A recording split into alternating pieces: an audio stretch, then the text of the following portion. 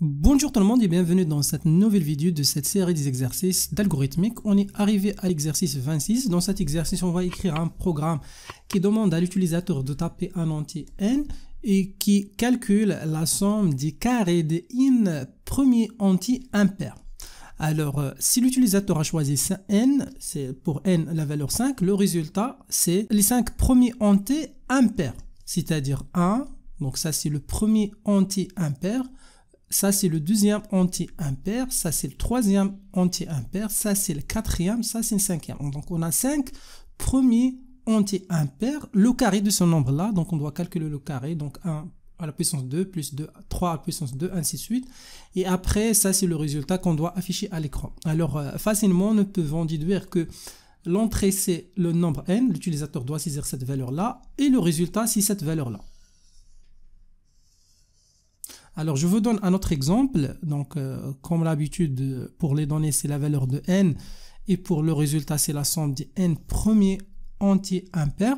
Alors, si l'utilisateur a choisi 4, dans ce cas-là, on va prendre les 4 premiers entiers impairs. Donc, on a 1, on a 3, on a 4, on a 5 et on a 7. Donc, ça, c'est 4 à la puissance 2, bien sûr à chaque fois. Et après, on va calculer la somme et après, on doit l'afficher sur l'écran. Alors, euh, pour bien comprendre la solution qu'on va écrire par la suite, ici, comme vous pouvez remarquer, on va utiliser directement une boucle. La boucle, ici, c'est-à-dire qu'il y aura des répétitions. Si vous remarquez là, combien de répétitions on a? On a 4.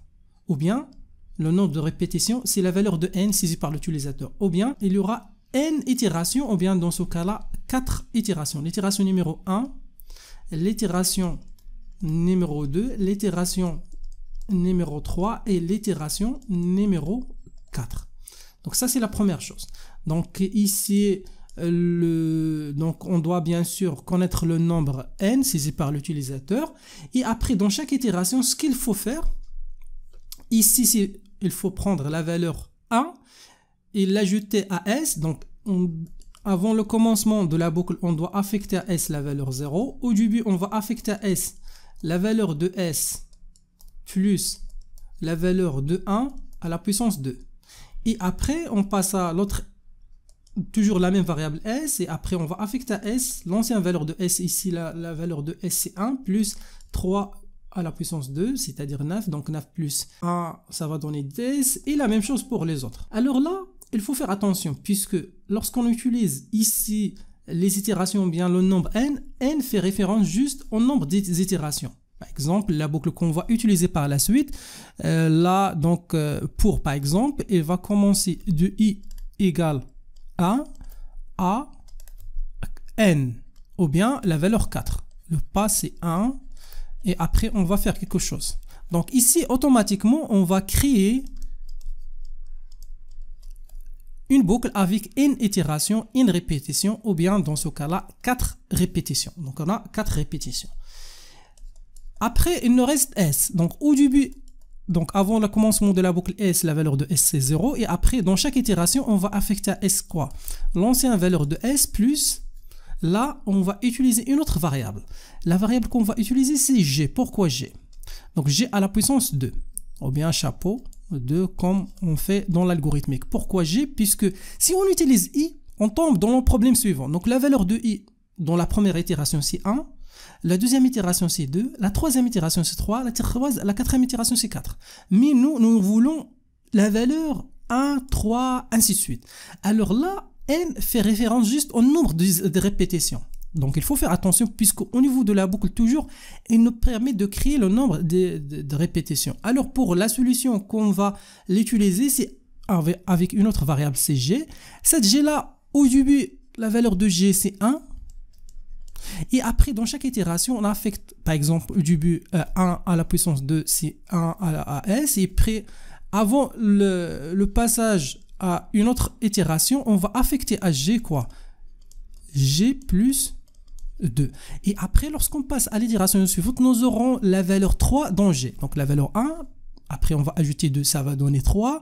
Après, dans l'itération suivante, va, la valeur de G passe à 5, à 7, à 9. Toujours cela dépend de nombre de répétitions.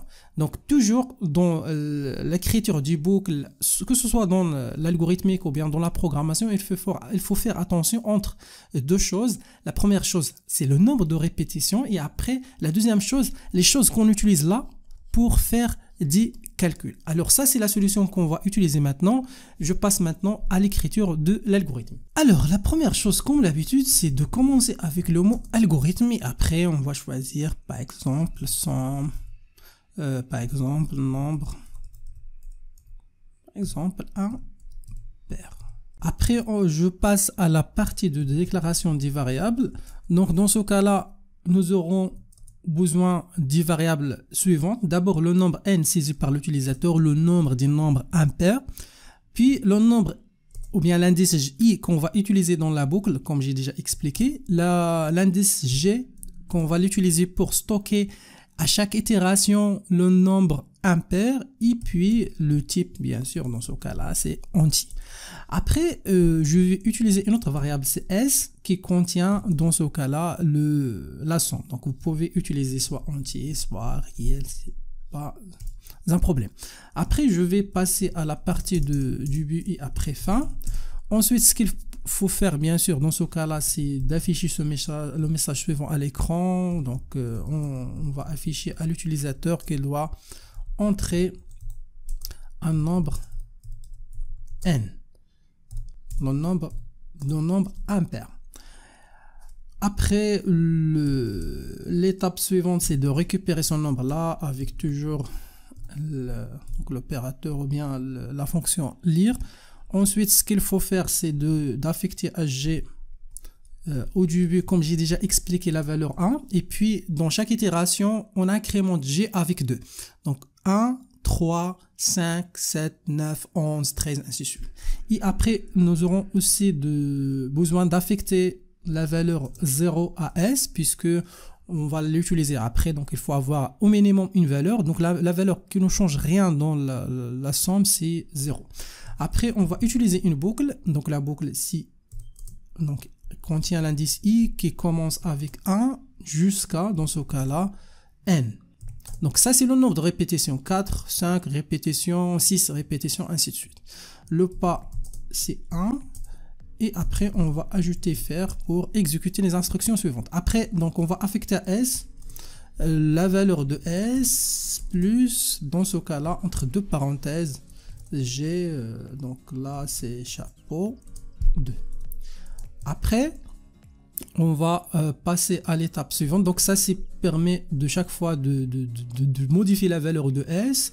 Et vers la fin, nous aurons la valeur finale dans S. Et, G doit être euh, donc changé aussi. Donc G, on doit ajouter à G ou bien affecter à G l'ancienne valeur de G plus 2. Donc G passe au début de 1, après 3, après 5, ainsi de suite.